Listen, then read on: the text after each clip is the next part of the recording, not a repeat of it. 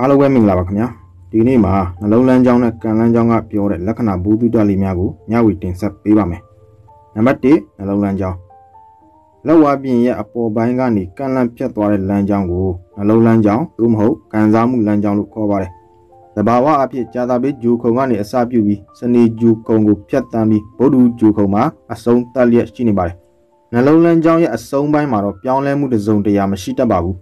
အစပိုင်းမှာလည်းတူညီချင်းတွေမရှိကြပဲတချို့နှလုံးလန်းကြောင်းကကြာတာပလီဂျူခုံကနေစတင်ထွက်ရှိတတ်ပြီးတချို့လမ်းကြောင်းကတော့စနေဂျူခုံကနေစတင်ပြီးထွက်ရှိတတ်ပါတယ်တချို့လမ်းကြောင်းတွေကတော့ကြာတာပလီဂျူခုံနဲ့စနေဂျူခုံကြားကနေလည်းစတင်ထွက်ရှိတတ်ပါတယ်နှလုံးလန်းကြောင်းဟာပြတ်သားထင်ရှားပြီးနှက်နှက်ရှိုင်းရှိုင်းတီရှိနေရင်တော်၎င်းအယောင်အစင်းနီမြန်းပြီးသွေးရောင်လွမ်းနေရင်တော်၎င်းအနှဲငယ်မြကွေးကောက်လျက်ရှိနေရင်တော်၎င်း ဒါကအကောင်းဆုံးအနေထားနှလုံးလန်းကြောင်းပဲဖြစ်ပါတယ်အပြားကြီးပြီးဝေဝါးပြားချက်ခြင်းပြတ်တောက်ခြင်းတိုးတောင်းခြင်းတွေကတော့မကောင်းမွန်လာပါဘူးနံပါတ်1နှလုံးလန်းကြောင်းနှလုံးလန်းကြောင်းဟာရှည်ပြီးတော့အပေါ်ကိုအနှဲငယ်ကော့ပြီးတက်နေမယ်အစကနေအဆုံးအထိတန့်ရှင်းစင်ကြယ်မှုရှိနေမယ်အယောင်စင်းကလည်းหนีမြန်းပြီးသွေးရောင်လွမ်းနေမယ်ဆိုရင်အဲ့ဒီလက္ခဏာရှင်ဟာတမာတိတည်ကြည်ပြီးမေတ္တာတရားကြီးမားသူဖြစ်မယ်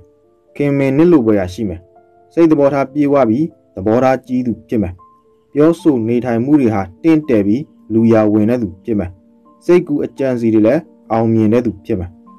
နံပါတ်3နှလုံးလမ်းကြောင်းနှလုံးလမ်းကြောင်းရဲ့အထက်နဲ့အောက်မှာကပ်ပြီးတည်ရှိနေတဲ့လမ်းခွဲကလေးများသောဖြစ်စေကြက်ချေခတ်ငယ်တွေသောဖြစ်စေတည်ရှိနေမယ်ဆိုရင်လက္ခဏာရှင်ဟာနူးညံ့တိမ်မွေးတဲ့သူရော့ပြောင်းညင်တာတဲ့သူဖြစ်ပါတယ်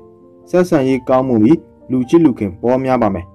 ရေလိုက်ငားလိုက်နေတတ်ပြီးလုပ်ငန်းလှုပ်ဆောင်တဲ့နေရာမှာတက်ကြွစွာလှုပ်ဆောင်တတ်သူဖြစ်ပါတယ်။တပားသူအတွက်တာဝန်ယူဆောင်ရွက်ပေးလိုသူလည်းဖြစ်ပါတယ်။ယုံကြည်စိတ်ချရတဲ့လက္ခဏာရှင်လည်းဖြစ်ပါတယ်။နံပါတ်၄နှလုံးလန်းကြောင်းနှလုံးလန်းကြောင်းဟာကြာသာပတိဂျူခုံရဲ့အလဲကနေစပြီးထွက်ရှိလာမယ်ဆိုရင်လက္ခဏာရှင်ဟာချစ်မှုရေးရမှာလေးစားထိုက်သူဖြစ်ပါတယ်။ယူသားပြီးမြင့်မြတ်တဲ့စိတ်ထားပိုင်ရှင်ဖြစ်ပြီးချောမောလှပပြီးမြင့်မြတ်တဲ့အိမ်တော်ဘက်ကိုရရှိနိုင်ပါတယ် မိမိနဲ့အဆင့်အတန်းတူဂုံရီတူတဲ့သူကိုပဲရေမှန်းတက်ပြီးမိမိထက်အဆင့်တန်းမြင့်တဲ့အိမ်တော်ဘက်ကိုမရွေးချယ်တတ်ပါဘူးအချစ်ရေးရာတွေမှာလည်းစိတ်ကူးညံထူးကဲသူလည်းဖြစ်ပါတယ်နံပါတ်5နှလုံးလန်းကြောင်းနှလုံးလန်းကြောင်းဟာကြာတာပြီးဂျူခုံအပေါ်ဘက်မှတော့၎င်းဒါမှမဟုတ်လက်ညိုးမှတော့၎င်းစတင်ပြီးထွက်ပေါ်လာမယ်ဆိုရင်ကမူးရှူထိုးအချစ်သမားဖြစ်တတ်ပြီးအချစ်ကြောင့်အမားအယွင်းတွေဆုံးရှုံးမှုတွေနဲ့ရင်ဆိုင်ကြုံတွေ့ရတတ်ပါတယ် အချစ်ရရှုပ်ထွေးပြီးပတ်ဝန်းကျင်ကြောက်တော်၎င်းတစုံတရာအနောက်ရှက်ကြောက်တော်၎င်းဆုံးရှုံးမှုတွေနဲ့ရင်ဆိုင်ရတတ်ပြီးအဲ့ဒီအတွက်လည်းခန္ဓာရည်မရှိတတ်သူဖြစ်ပါတယ်နံပါတ်6နှလုံးလန်းကြောင်း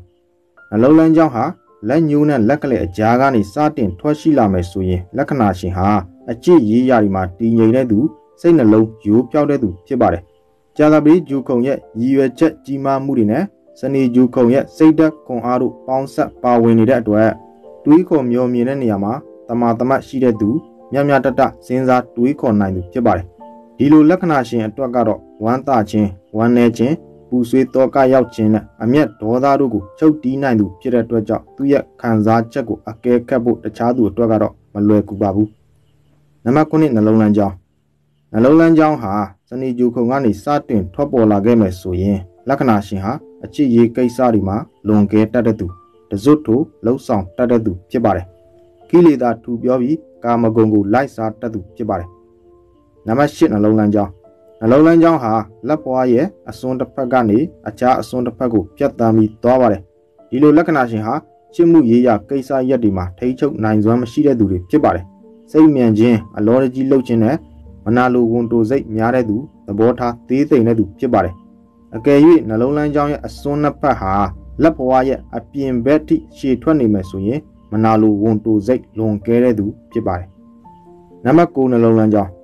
နှလုံးလမ်းကြောင်းပေါ်မှာလမ်းကြောင်းငယ်ကလေးများတော့၎င်းအဆက်ပြောက်ငယ်ကလေးများတော့၎င်းပါရှိတဲ့ဆိုရင်အဲ့ဒီလက္ခဏာရှင်ဟာစိတ်နှလုံးတည်ငြိမ်မှုကင်းမဲ့သူဖြစ်ပါတယ်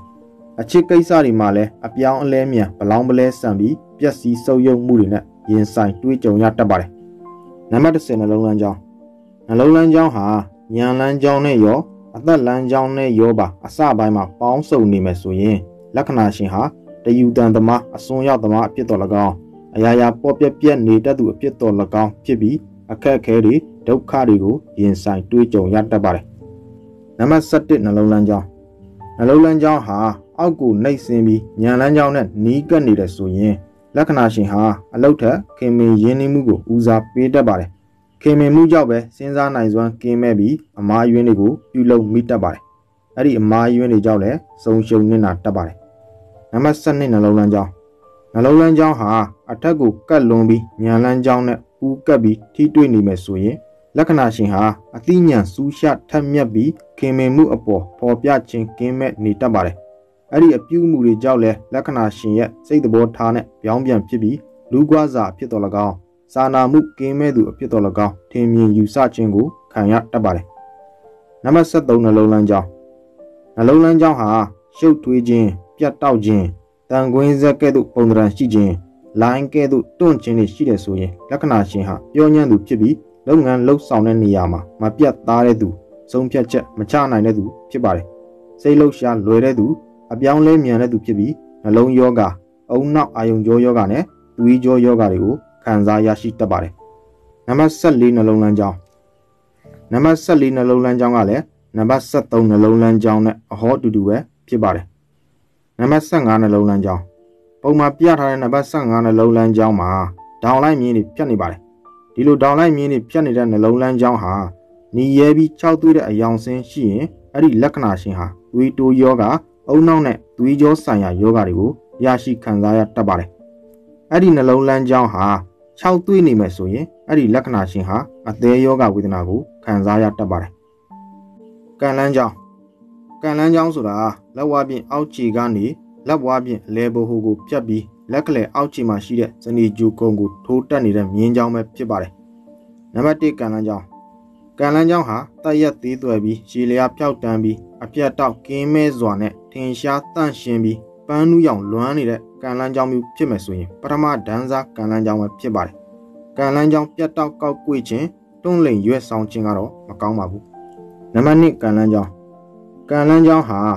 လက်ကလေးအတိတက်ရက်ထင်ရှားစွာနဲ့ဖြောက်တန်းစွာထိုးတက်သွားမယ်ဆိုရင်လက္ခဏာရှင်ဟာအကျင့်စာရိတ္တကောင်းမွန်ပြီးဂုံတိတ်ခမြင့်မာသူဖြစ်ပါတယ်သူရဲ့ဘဝတသက်တာမှာဂုံယူစရာအတွေ့အကြုံတွေနဲ့ပြည့်လွမ်းနေတတ်ပါတယ်နံပါတ်3ကံလန်းကြောင်း ကံလန်းကြောင်းဟာတနင်္ဂနွေကျူကုံစီကိုတဲမတ်စွာထိုးတက်နေပါတယ်ဒီလိုကံလန်းကြောင်းမျိုးပါလာခဲ့မယ်ဆိုရင်ထိုသူဟာစာပေနဲ့အမှုပညာမှာဝါသနာကြီးတဲ့သူအောင်မြင်ကြော်ကြားတဲ့သူဖြစ်ပါလိမ့်မယ်နံပါတ်၄ကံလန်းကြောင်းကံလန်းကြောင်းဟာအသက်လန်းကြောင်းကနေစပြီးထွက်ပေါ်လာမယ်ဆိုရင်လက္ခဏာရှင်ဟာဘဝအောင်မြင်ရေးကိုအလေးထားတဲ့သူစူးစမ်းအားထုတ်နိုင်တဲ့သူဖြစ်ပါတယ်သူရဲ့စူးစမ်းမှုကသူ့ရဲ့ဘဝကိုအောင်မြင်မှုတွေရရှိစေပါတယ် နံပါတ်5ကံလန်းကြောင်းကံလန်းကြောင်းနှစ်ကြောင်းပြိုင်ပူးနေခြင်းကံလန်းကြောင်းဟာနှစ်ကြောင်းပူးရှင်ပြီးထွက်ပေါ်နေမယ်ဆိုရင်လုပ်ငန်းတစ်ခုကိုတပြိုင်တည်းလုပ်ကင်ဆောင်ရွက်ရတတ်ပါတယ်မိမိရဲ့စူးစမ်းအားထုတ်မှုဟာ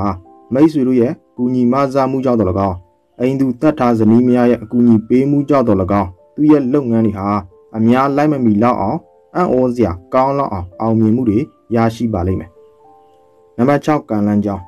ကံလန်းကြောင်းဟာကောက်ကွေ့ပြီးတချို့နေရာတွေမှာပြတ်တောက်မှုတွေရှိနေမယ်ဆိုရင်လက္ခဏာရှင်ဟာဘဝတစ်လျှောက်လုံးအတက်အကျများစွာနဲ့လုံထွေးနေပါလိမ့်မယ်စိတ်ဓာတ်တက်ကြွပြီးစိတ်လိုက်မှန်ပါကြိုးစားဆောင်ရွက်လိုက်စိတ်ဓာတ်ကြပြီးငြိမ်နေလိုက်နဲ့လုပ်ငန်းတွေကလည်းအောင်မြင်လိုက်နဲ့ရုံနေလိုက်ဖြစ်နေပါလိမ့်မယ်နံပါတ်9ကံလန်းကြောင်းကံလန်းကြောင်းဟာတနင်္လာဂျူခုံကနေစတင်ပြီးထွက်ပေါ်လာပါတယ်ဒါဆိုရင်လက္ခဏာရှင်ဟာ မိတ်ဆွေတွေတခြားသူတွေရဲ့ကူညီမှုတွေနဲ့ဩဇာအာဏာကိုအမိပြုပြီးသူ့ရဲ့ကြီးမှန်းချက်တွေဟာအောင်မြင်ပါလိမ့်မယ်နံပါတ်၈ကံလန်းကြောင်းနံပါတ်၈ကံလန်းကြောင်းကတော့ပြတ်တောက်မှုတွေရှိနေပါတယ်လက္ခဏာရှင်ဟာကံလန်းကြောင်းပြတ်တောက်မှုရှိတဲ့အတွက်ကြောင့်အဲ့ဒီပြတ်တောက်တဲ့အသက်အရွယ်အပိုင်းခြားကာလတွေမှာလုပ်ငန်းများရုတ်တရက်ပြောင်းလဲမှုတွေကိုကြုံတွေ့ရတတ်ပါတယ်နံပါတ်9ကံလန်းကြောင်းကံလန်းကြောင်းဟာလိုင်းပုံသဏ္ဍာန်လိုမျိုးတွန့်လိန်နေပါတယ်